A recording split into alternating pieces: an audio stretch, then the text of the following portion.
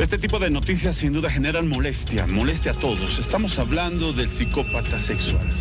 77 víctimas es la cifra que se ha contabilizado desde las autoridades policiales. Fue aprendido en las últimas horas y se empezó a contabilizar. Las vejaba sexualmente y posteriormente trataba de deshacerse en algunos casos de sus víctimas, unas eh, pues eh, fatales.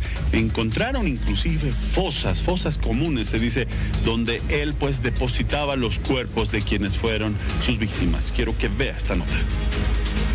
Hemos realizado allanamientos en los domicilios de esta persona que ya tiene antecedentes, sentencia ejecutoriada por asesinato, porque ya existe una víctima anterior que a la cual igual, aparte de haberla secuestrado, le enterró viva. Entonces esta persona tiene esos antecedentes y en el allanamiento realizado con ayuda de canes, en este caso del CanMax, se ha logrado encontrar una fosa común Todavía no estamos determinando si, si, era destinada para esta víctima. Podemos establecer, de acuerdo al análisis que hemos realizado de la investigación, como trata y tráfico de personas, que existen al menos 77 víctimas.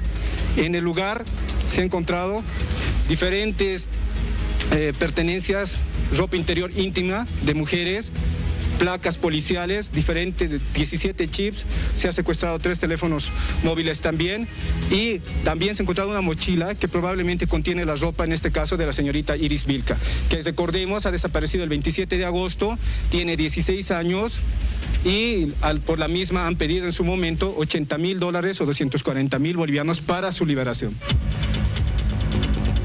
La fiscalía ya está ejecutando sus oficios a este psicópata sexual. Quiero que vea este informe. Es hecho investigado por la, por la de el estas dos personas que tendrían las edades, según lo señalado por el diputado, del 17 y con 15 años. Y estas personas estarían siendo buscadas, han presentado denuncias sobre su desaparición. Es por eso que el Ministerio Público está en este momento a través de ir tomando las cosas correspondientes para su identificación y para cobrar lo señalado por el